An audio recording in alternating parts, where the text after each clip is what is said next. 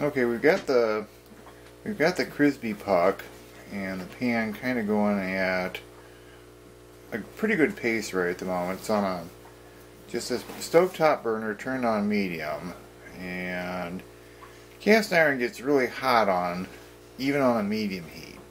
So, but we it's smoking just a little bit. The nice thing about the Crisbee puck is yeah it smokes, but it's nothing that a good range hood can't take care of. But while you're while you got on a medium heat, you want to kind of continue to wipe so you get it really worked into the surface. Remember, you just opened up the pores on the cast iron skillet, and as you can see, this this skillet's been used for 10 years. No black, just nice and smooth. And we're going to let that sit there and cool it down here in a few minutes, and we should have a pretty good day-to-day -day seasoned pan.